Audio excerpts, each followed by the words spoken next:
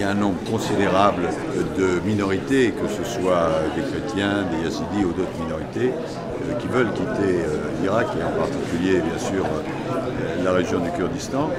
Alors il faut que la diversité des pays puisse les accueillir. Pour ce qui concerne la France, nous privilégions, si je puis dire, ceux qui ont un possible lien avec la France. Par exemple, les gens qui sont ici, certains ont de la famille, même s'ils n'avaient pas vu la famille depuis 10 ans ou même 15 ans. Et petit à petit, les nombres vont augmenter. Maintenant, il y a une question de fond, c'est que euh, les autorités chrétiennes, pour prendre l'exemple des chrétiens, elles-mêmes euh, disent oui, mais il ne faut pas que tout le monde s'en aille, parce que sinon c'est une victoire d'une certaine manière euh, de Daesh.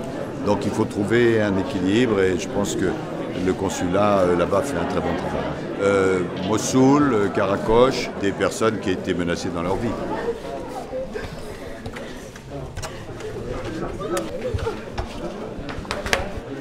Il faut avoir une action humanitaire, c'est la raison pour laquelle on envoie des vivres.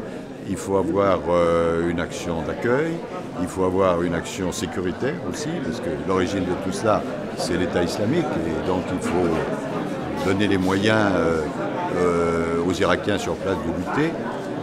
il faut faire tout ça. Enfin, ici, en tout cas, vous êtes en sécurité. Voilà, exactement. Nous cherchons la sécurité. Merci. Ces personnes-là, euh, elles ont euh, des personnes qui les accueillent et un suivi par des associations, par le centre de crise. Mais d'une façon générale, c'est ce que j'ai appelé le pont humanitaire qui se met en place au niveau français comme au niveau européen.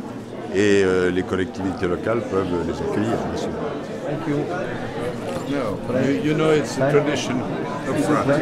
Dites-moi, je vais vous dire deux mots. Vous êtes en France, vous êtes les bienvenus. Merci. Merci beaucoup. On sait que vous avez connu des épreuves terribles. Vous avez été obligé de partir.